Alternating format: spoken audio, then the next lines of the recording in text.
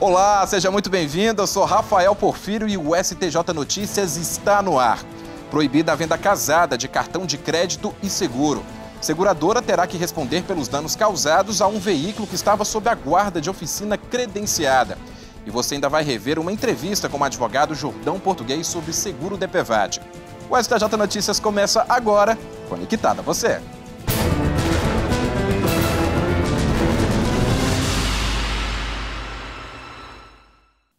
O STJ Notícias começa falando sobre uma decisão que condenou uma seguradora a responder solidariamente pelos danos causados a um veículo que estava na responsabilidade de uma oficina credenciada. Veja só. Seja um roubo, pane ou acidente, você liga para a seguradora, leva para a oficina e espera o veículo ficar pronto. Mas e se no meio dessa história você descobrir que o carro sofreu danos dentro da oficina? De quem é a responsabilidade? Depois de um acidente no Paraná, o dono de um caminhão procurou a oficina indicada pela seguradora para fazer o serviço.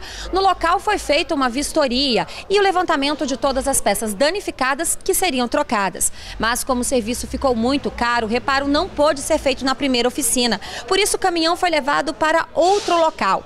O problema é que ao chegar na segunda oficina, a vistoria constatou que o tacógrafo havia desaparecido e que outras peças peças também estavam danificadas. O dono do caminhão procurou a justiça para pedir ressarcimento dos danos causados e lucros cessantes, porque além dos danos, o serviço que era para durar 30 dias levou 102. E como se tratava de instrumento de trabalho, ele teve prejuízo. Em primeiro grau, o juiz reconheceu a responsabilidade da seguradora pelo furto do tacógrafo e danos das peças na primeira oficina, e também a condenou ao pagamento de lucros cessantes. O Tribunal de Justiça Estadual, no entanto, entanto, afastou a responsabilidade da seguradora, condenando apenas a oficina pelos prejuízos. O segurado recorreu ao STJ, onde declarou que o local para levar o caminhão foi determinado pela seguradora. Em seu voto, o relator, ministro Luiz Felipe Salomão, considerou nítida a responsabilidade da seguradora pela má escolha da concessionária credenciada. De acordo com o ministro, a responsabilidade só seria afastada se a escolha tivesse sido do do segurado. Olha só esse caso. Durante uma discussão, um agricultor no Rio Grande do Sul foi baleado pelo caseiro de uma fazenda. Como o fato aconteceu durante o expediente de trabalho, os donos da propriedade é que foram responsabilizados. Eles terão que pagar uma indenização de 30 mil reais ao agricultor. A determinação é do Superior Tribunal de Justiça. A terceira turma do STJ determinou o pagamento de danos materiais, morais e lucros cessantes a um agricultor baleado pelo caseiro de uma fazenda. Os ministros entenderam que os donos da propriedade vão ter que pagar a indenização, uma vez que o caseiro estava no desempenho das funções no momento dos disparos. De acordo com o processo, a fazenda tem uma fonte de água que era utilizada pelo agricultor, vizinho das terras. Mas em um determinado momento, o homem começou a ser impedido de utilizar a água. Por conta disso, o filho do agricultor discutiu com o caseiro da fazenda. Ao ficar sabendo da discussão, o produtor se dirigiu à fazenda e foi recebido a tiros pelo empregado da propriedade. O agricultor ficou gravemente ferido. O juiz de primeira instância condenou os donos da fazenda a indenizarem a vítima, mas o Tribunal de Justiça do Rio Grande do Sul reformou a decisão. O processo chegou ao STJ e a relatora do caso, ministra Nancy Andrighi, não acolheu o entendimento do Tribunal de Justiça do Rio Grande do Sul que o incidente entre o caseiro e o agricultor ficou no campo da desavença pessoal e que, portanto, não houve responsabilidade dos patrões do caseiro. Para a ministra, o fato não teria ocorrido se o caseiro não desempenhasse atividades em favor dos donos da fazenda, que exercem relação hierárquica sobre os funcionários. Com base nessas conclusões, os ministros da terceira turma restabeleceram a sentença que condenou os donos da fazenda a pagar 30 mil reais de indenização por danos morais, além de custear as despesas com tratamento médico e danos materiais decorrentes da invalidez permanente permanente, correspondente à pensão mensal até o agricultor completar 65 anos de idade. Foi afastada a condenação a uma casa de saúde em Araçatuba, interior de São Paulo, que havia sido responsabilizada pela morte de bebê prematuro. Ao analisar o caso, os ministros da terceira turma aqui do Superior Tribunal de Justiça entenderam que houve má valoração das provas. A decisão de afastar a condenação por danos morais contra a unidade de saúde em Araçatuba, São Paulo, foi da terceira turma do STJ. A unidade estava sendo processada pela morte de um bebê prematuro. Os pais do bebê entraram com pedido de indenização, alegando que a criança, que nasceu em 2002, morreu no ano seguinte após várias internações. Para o casal, uma série de erros médicos causou o falecimento do bebê, como, por exemplo, a remoção indevida de UTI e a colocação incorreta do aparelho de soro fisiológico na criança. Em primeira instância, o pedido foi negado. O magistrado concluiu, com base em prova pericial, que não havia elementos que comprovassem condutas culposas do médico ou da casa de saúde. O Tribunal de Justiça de São Paulo, porém, condenou a unidade hospitalar a pagar indenização por dano moral no valor de 50 mil reais. O advogado Marcelo Rivera explica que para a justiça aceitar o dano moral é preciso três requisitos. Que seria o ato ilícito, o nexo de causalidade e o dano. O nexo de causalidade é aquilo que conduz o ato ilícito ao dano sofrido. É, essa, a reunião desses três elementos é para responsabilidade civil objetiva, como nos casos dos hospitais e dos médicos que trabalham, que fazem parte do corpo clínico desse hospital. Então, para que o hospital seja condenado a uma indenização de dano moral, você precisa desses três elementos. A falta ou a ausência de qualquer um desses três, independente, não pode ser só o ato ilícito, pode ser só o nexo ou pode ser só o dano, não tem por que ter a condenação da, do hospital. No STJ, os ministros levaram esses critérios em consideração e afastaram a condenação. A relatora, ministra Nancy Andrighi, destacou que o laudo da perícia concluiu que o bebê recebeu todos os cuidados adequados e necessários durante o tratamento e que não há, portanto, relação de causa e efeito entre o dano e o tratamento oferecido pelo hospital.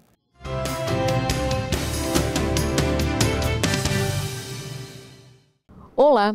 No momento do consumidor que você confere nos intervalos da Rádio Justiça, a gente vai falar sobre o direito à indenização nos casos de extravio de bagagens em viagens aéreas. No STJ em repetitivos, que você também confere nos intervalos da emissora, o tema será o recurso repetitivo 917, que trata da remissão, da diminuição da pena quando o preso exerce algum trabalho.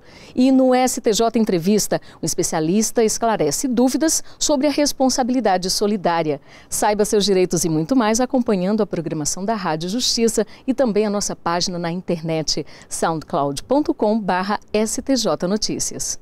Nós vamos para um rápido intervalo e na volta você vai rever uma reportagem especial sobre seguro DPVAT. Não sai daí, eu volto já.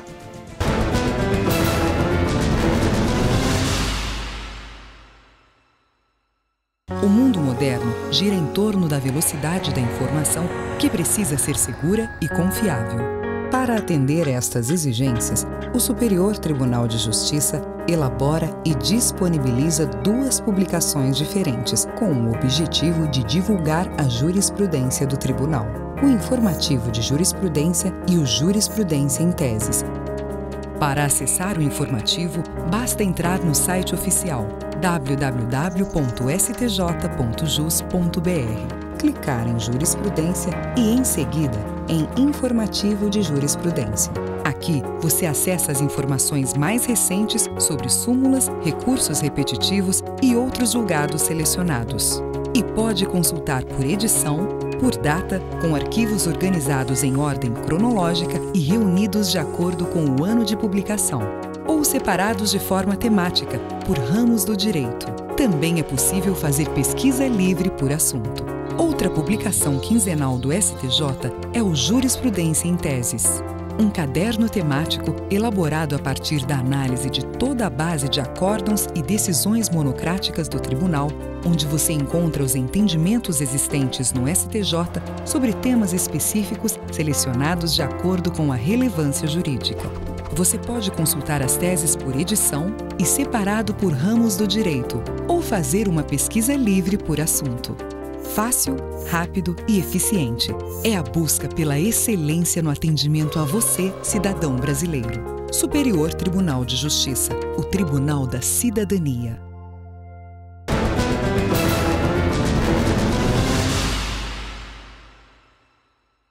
Durante o recesso do Judiciário, o STJ Notícias reprisa as entrevistas que mais movimentaram as redes sociais do tribunal nesse primeiro semestre.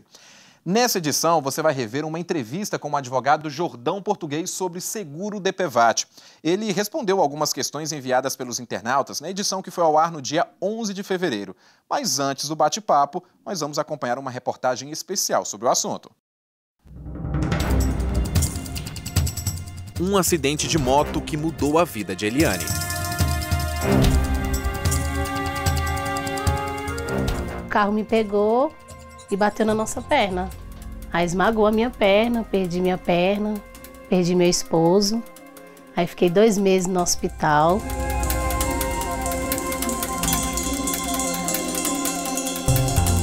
Depois desse período, Eliane voltou a andar, mas com a ajuda de uma prótese. A compra foi feita com os R$ 13.500 que ela recebeu do seguro DPVAT. Falaram para mim que eu tinha direito DPVAT. Aí eu arrumei os papéis, Levei lá, aí a moça falou, daqui um mês entra na sua conta. Aí entrou na minha conta. O DPVAT garante três coberturas distintas. Em caso de morte, o valor é de R$ 13.500 por vítima. Por invalidez permanente, esse mesmo valor permanece como o máximo que a vítima pode receber. Já a cobertura de reembolso por despesas hospitalares, o valor é de até R$ 2.700. O seguro é garantido a vítimas de acidentes de trânsito sem necessidade de apuração de culpa.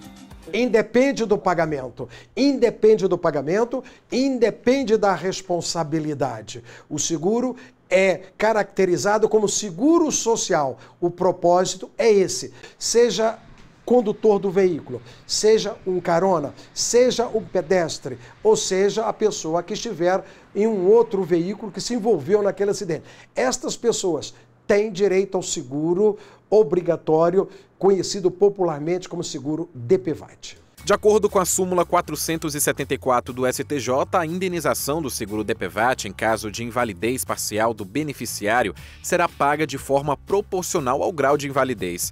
Esse entendimento foi ressaltado em julgamento na segunda sessão de um recurso especial de uma seguradora. Apesar de ser um seguro de responsabilidade civil obrigatório pago anualmente por proprietário de automóvel, a falta ou atraso do pagamento do seguro DPVAT não impossibilita o motorista e terceiros envolvidos em acidentes de trânsito de receberem a indenização. O entendimento está previsto na súmula 257 do STJ. Além desse direito, a Lei 11.482 de 2007 prevê que nos casos de mortes, o valor da indenização do DPVAT é dividido em cotas iguais entre o cônjuge ou companheiro e os herdeiros. A cota é fracionada em partes iguais. Foi exatamente o que aconteceu com o seguro do marido da Eliane. Para me ganhar do meu marido, eu tive que fazer a união estável após a morte. Aí eu tive que fazer é, arrumar as testemunhas, três testemunhas, fotos antigas da gente, né, nós dois. Aí foi que marcou a audiência, aí a juíza autorizou. Fui receber. Aí ficou a metade para mim e a metade para os filhos dele. A viagem de Joel Linhares com a família em uma rodovia em Minas Gerais foi interrompida com um acidente que causou a morte do sogro. Joel ficou em estado grave e perdeu o baço. Ele recebeu R$ 2.700 de seguro DPVAT tinha plano de, é, particular, né? Mas ó, se eu fosse arcar, precisar desse dinheiro para pagar o, o que ocorreu lá, todos os, os serviços que o hospital fez, acredito que isso aí não daria nem para o começo, né? Pois é, doutor Jordão, vimos aí na reportagem, principalmente esse caso do Joel, que muitas vezes a pessoa não solicita o DPVAT por falta de conhecimento de como fazer essa solicitação, né? É verdade. Muitos não conhecem o, o, o direito, os benefícios que traz esse seguro obrigatório. E através de contatos, pessoas, colegas, né, amigos, vão falar, ah, você já assinou o seguro, ah, mas eu tenho direito, realmente precisa divulgar mais a informação de quem tem o direito de receber o seguro. Nesse caso aí, o Joel recebeu dele, o sogro que morreu no acidente, a, a, sogra dele não solicitou, mas poderia ter solicitado e ter recebido pelo sogro, né? Exatamente. Então, nesse caso aí, decorrente, ela é uma beneficiária.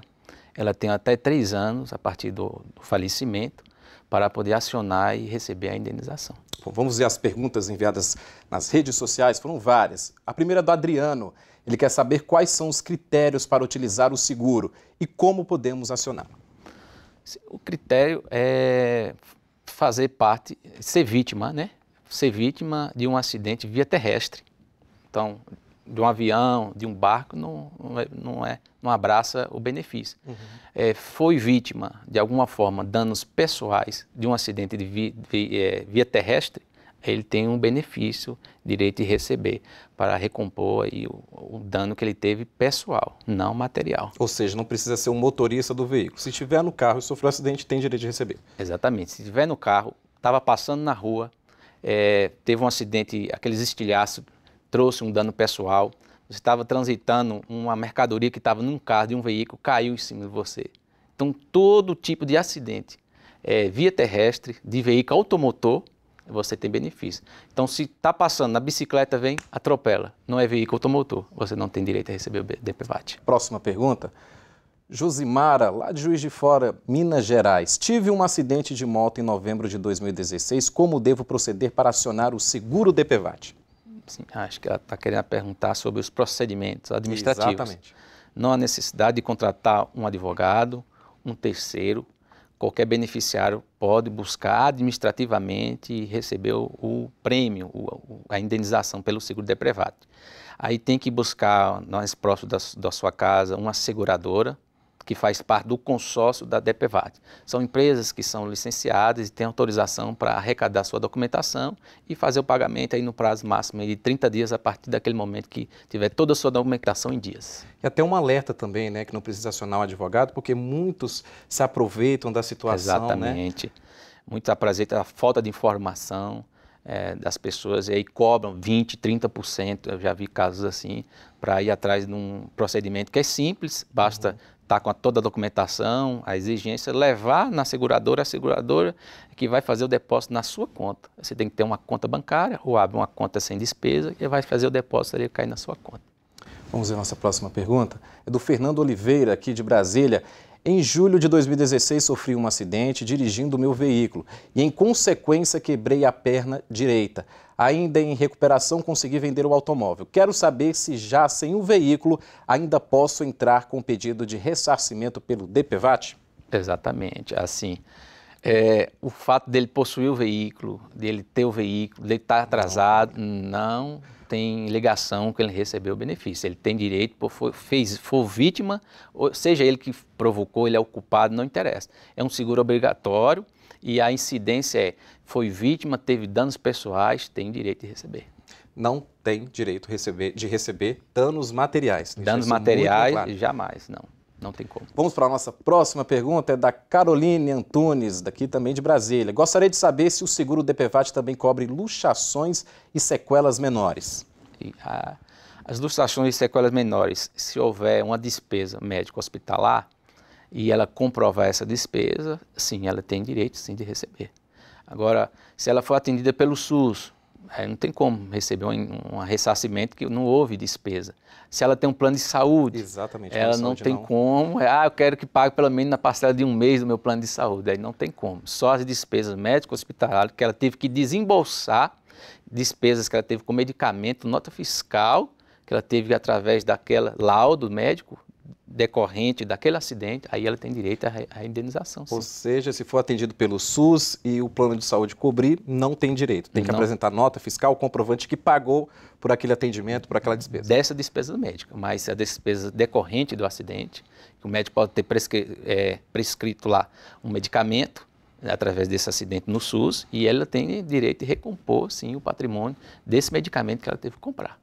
Doutor Jordão, só tenho que agradecer a sua participação aqui no STJ Notícias. Eu... Temos várias outras perguntas, mas o tempo é curto, mas deu para entender melhor um pouco sobre o seguro da FEVAT. Só tenho que agradecer. Obrigado, agradeço a força e a oportunidade.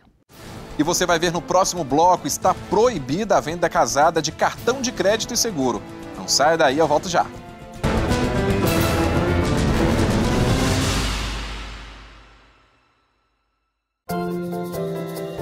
Informação precisa, segura, confiável e direto da fonte. Na página da jurisprudência do Superior Tribunal de Justiça, você encontra tudo isso e muito mais. Para acessar, basta entrar no site oficial www.stj.jus.br e clicar em Jurisprudência. No link Legislação Aplicada, você encontra o entendimento do STJ sobre a aplicação de determinado dispositivo legal. Isso mesmo, aqui estão os dispositivos legais estudados e anotados com a jurisprudência mais recente do Tribunal. Já no índice remissivo dos recursos repetitivos estão todos os acórdãos dos recursos submetidos ao rito dos repetitivos que já tenham sido publicados. Organizados por ramos do direito, você também pode consultar em pesquisa livre. A página da jurisprudência ainda oferece as súmulas anotadas do STJ com trechos transcritos de julgados do tribunal. Você pode pesquisar por temas, pela ordem crescente ou decrescente dos números das súmulas ou por pesquisa livre. Fácil, rápido e eficiente. É a busca pela excelência no atendimento a você, cidadão brasileiro. Superior Tribunal de Justiça. O Tribunal da Cidadania.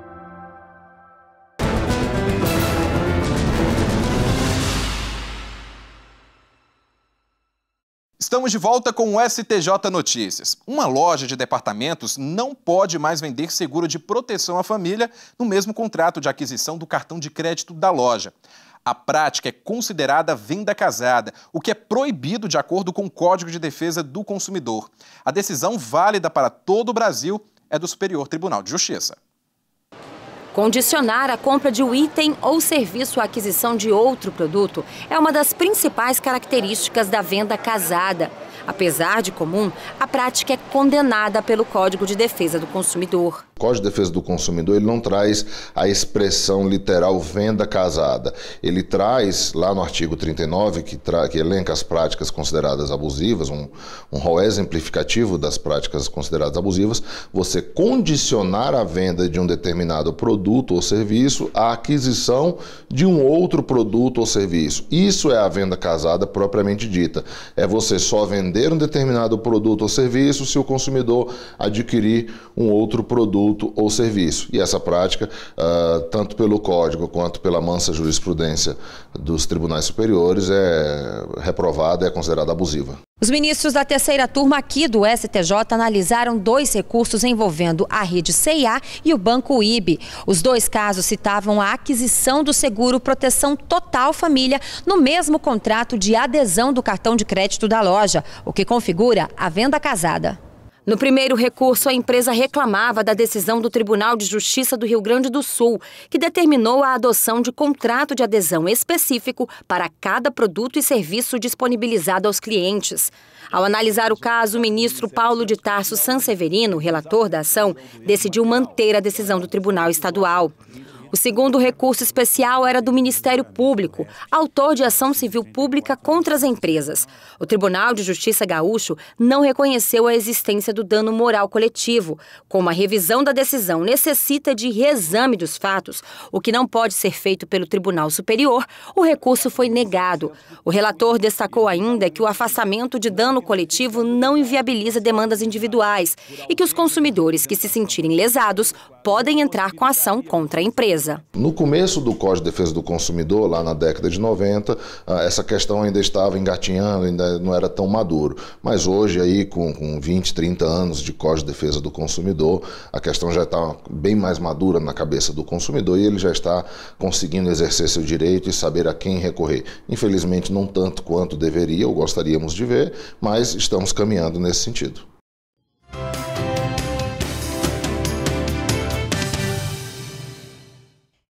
O ministro Félix Fischer negou um pedido de liminar feito pela defesa do ex-presidente Luiz Inácio Lula da Silva para suspender diligências em curso sobre a real propriedade de bens do acervo presidencial. O pedido foi apresentado depois que o juiz Sérgio Moro, da 13ª Vara Federal em Curitiba, solicitou o exame de bens apreendidos no âmbito da Operação Lava Jato. A intenção de Moro era verificar se os itens deveriam ter sido incorporados ao patrimônio da União ou se são objetos pessoais do ex-presidente. Além de alegar constrangimento ilegal, a defesa de Lula disse que o ex-presidente corre risco de perder a titularidade dos bens. Mas, ao analisar o caso, o ministro Félix Fischer concluiu que não há ilegalidade na medida adotada pelo juiz Sérgio Moro o ministro Reinaldo Soares da Fonseca negou um pedido do ex-deputado distrital Odilon Aires para que fossem estendidos os efeitos de uma decisão de outubro de 2016 que suspendeu a fase de interrogatórios da Operação Caixa de Pandora para a reabertura da fase de instrução probatória. Condenado por corrupção passiva, o ex-deputado queria receber o mesmo benefício que foi concedido a outros dois investigados. Mas, para o ministro, a situação do político é diferente da dos outros réus e por unanimidade de votos, a Comissão de Constituição e Justiça do Senado Federal aprovou uma proposta de emenda à Constituição que cria um filtro para admissão de recursos especiais no STJ. A PEC 209 de 2012, também conhecida como PEC da Relevância, tem como objetivo reduzir o número de recursos que chegam ao Superior Tribunal de Justiça e dar mais celeridade aos processos. Para a presidente do Superior Tribunal de Justiça, ministra Laurita Vaz, a PEC 209 resgata o papel constitucional do STJ de uniformizar a legislação infraconstitucional e deve diminuir em 50% o volume de recursos que chegam ao tribunal. Agora, o texto segue para votação em dois turnos pelo plenário do Senado. Você sabia que o STJ criou um aplicativo para facilitar o acesso às jurisprudências do tribunal? É o STJ Mobile. Ele permite ainda consultar o andamento dos processos e visualizar as decisões e acórdãos publicados. Veja como funciona. Fábio Donadon é advogado e dono de um escritório de advocacia que atua em cinco cidades. Como está sempre viajando, Fábio conta com o aplicativo STJ Mobile para acompanhar os processos em que advoga. A facilidade consiste em poder trabalhar muitas vezes no trânsito, muitas vezes em deslocamento, em voos, em aguardo de, em aeroportos e a praticidade e ao mundo digital. Pesquisar a jurisprudência do tribunal e consultar o andamento de processos pelo celular ficou muito mais fácil. O aplicativo STJ Mobile permite ainda visualizar decisões e acórdãos publicados. Ele também grava as 20 pesquisas mais recentes feitas pelo usuário, dá a opção de salvar as favoritas e enviar para outras pessoas. É facilidade na palma da mão. A iniciativa de desenvolver o aplicativo foi da Secretaria de Tecnologia da Informação e Comunicação do STJ. A ideia foi incluir o tribunal no mundo digital e facilitar o acesso dos usuários aos conteúdos disponibilizados pela Corte. É o uso mais instantâneo, assim, a consulta bem mais rápida do que você entrar na internet, ter que abrir o browser, do browser você botar o endereço para consulta, etc. E aqui você já está com o aplicativo à mão abriu o aplicativo, ele está pronto para a sua consulta. Então, a rapidez e a facilidade. E o Davi, que também é um dos idealizadores do aplicativo, garante que vem mais novidade por aí. Estamos pensando em fazer, incluir o informativo de jurisprudência nos próximos meses. E também tem uma pequena atualização que nós vamos fazer agora esse mês, já em julho, para adaptar o aplicativo de iOS para o iPad, né, que inclua uma uma exibição de informações e usabilidade melhor para um tamanho de tela maior. E aos poucos a gente vai desenvolvendo isso aí.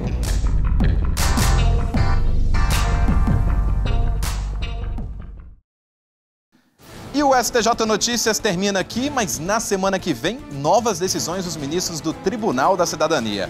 Você participa do programa enviando sugestões de temas ou perguntas por meio da página do STJ no Facebook ou de uma mensagem no WhatsApp. E ainda acompanhe o que acontece no tribunal pelas redes sociais e pela página na internet. Muito obrigado pela participação. Eu te espero semana que vem. Tchau!